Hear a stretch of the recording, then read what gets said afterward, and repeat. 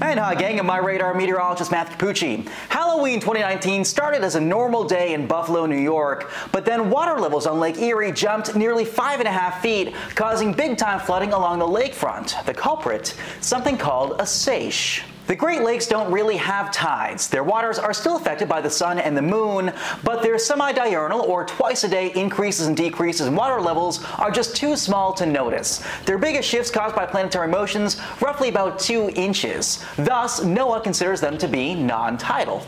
So how did Buffalo get a nearly six foot sudden wave without warning? It wasn't a tsunami because there were no earthquakes nearby. That's why we have to turn to the weather.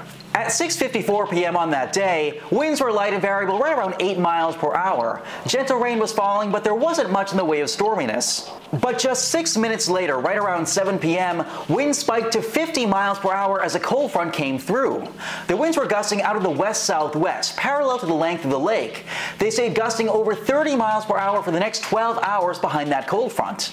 Doppler radar shows a narrow, low top band of showers and downpours along the front as it swept in from the west-southwest. Over the lake, winds can rush even faster since there's not much friction. That means there were probably gusts well over 60 miles per hour.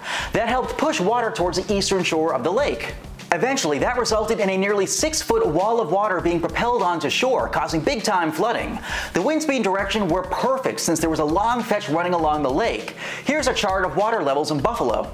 What makes this a seiche is that the water had to come from somewhere else. On the opposite end of Lake Erie, water levels dropped simultaneously. Here's a chart showing a 3 to 4 foot dip at Marblehead, Ohio, right near Toledo.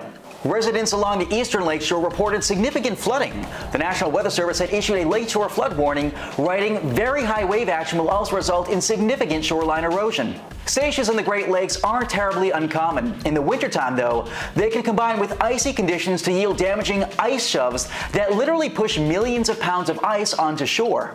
Strong winds over Lake Erie on February 24th and 25th, 2019 pushed a 10-foot wall of ice ashore, prompting police in Hamburg, New York to issue voluntary evacuation orders. Winds gusted at 74 miles per hour at Niagara Falls, 72 at Hamburg, and 69 miles per hour in Buffalo. That event was also from a seiche, albeit a slightly slower one. Water levels at Sturgeon Point, New York rose by 4.13 feet in two and a half hours time. Temperatures fell by a dozen degrees in just 10 minutes as winds picked up and air pressure rose behind a cold front.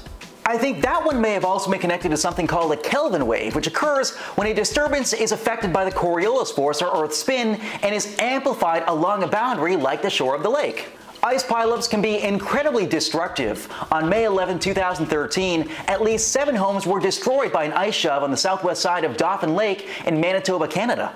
Seiches can only occur in closed bodies of water, but they do have an oceanic cousin. We call it the Meteo tsunami. On December 20, 2018, a one-foot meteo tsunami brought flooding in Naples, Florida, right along the southwest side of the peninsula. The meteo tsunami was racing ahead of a line of thunderstorms along the leading edge of thunderstorm exhaust, or outflow. Winds gusted over 50 miles per hour. The same storm system brought damaging winds and tornadoes across the Sunshine State.